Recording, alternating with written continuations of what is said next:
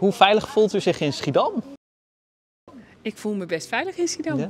Hoe komt Ja. dat? Ehm, ja, goh. Ik heb een waakhond. Nee hoor. Ik kom niet op plekken waar ik me niet veilig voel. En dat ze zijn. En ik heb in de.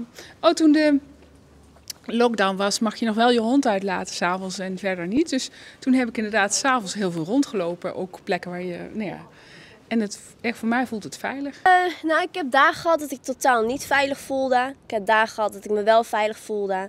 Dus eh, eigenlijk eh, vaak onveiliger dan veiliger, om zo te zeggen. En wat maakt dan dat je je onveilig voelt? Eh, nou, ik heb vooral op eh, bepaalde dagen meegemaakt dat intimidatie vanuit man naar vrouw gewoon best wel groot is. Dat, eh, ik heb zelf meegemaakt dat ik gewoon qua lichaam ben aangeraakt door mannen.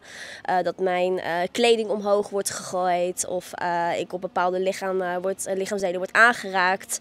Eh, bepaalde intimiderende dingen worden geroepen naar mij. Eh, mannen die langslopen, soms ook filmen. Dus eh, ja, eigenlijk dat soort dingen gebeurt gewoon best wel vaak hier. Wat die punten hebben. Ja, nou ja, dat mag altijd. Ja. Gewoon 8, 8,5, 8,8. Acht punten, dat is, dat is een hoge score. 8,8 ja. Ja? Wa- waarom Echt? zo veilig? Ik, heb, ik, ja, ik, voel me, ik, voel me, ik voel me gelukkig hier, omdat ik hier eh, herinneringen heb. En ik eh, in, die- in heel fijne winkels in deze straat zijn. En, en ik ken heel veel mensen die in de winkel staan. Wa- Wat maakt dan dat u extra alert bent op sommige plekken? Nou, ja, station Schiedam is gewoon eentje waarvan ik weet dat er af en toe dingen gebeuren. Dus daar let ik op.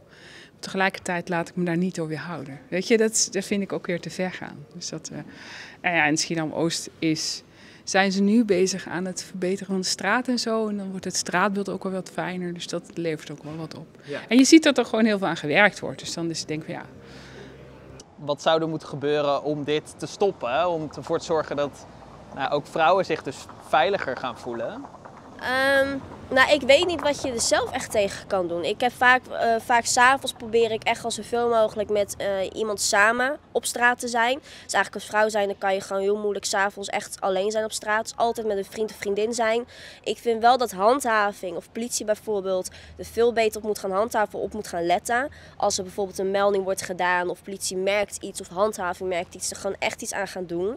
Eh, omdat vaak dit soort meldingen heel ja, klein wordt aangepakt, zeg maar. Of gewoon totaal niet wordt aangepakt. Eh, dus ik vind wel dat bijvoorbeeld de gemeente of handhaving of iets dergelijks er echt iets aan moet gaan doen. Want hun zijn vaak de mensen die er juist een verandering aan kunnen brengen in plaats van wij als mens.